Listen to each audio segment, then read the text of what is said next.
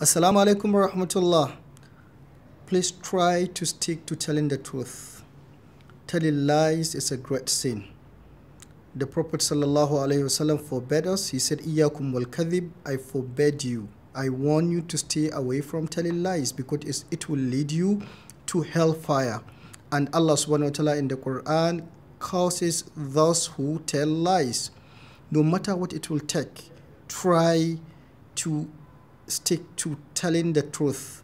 It might be difficult for you, but when you train yourself and you promise that for the next one week, I will tell only truth, Allah will help you. The Prophet ﷺ said, وزئيم لبيت في وسط الجنة لمن ترك الكذب وإن كان وإن كان مازحا أو كما قال عليه الصلاة والسلام that I guarantee the house in the middle of Jannah for the one who abandoned telling lies even if he is joking.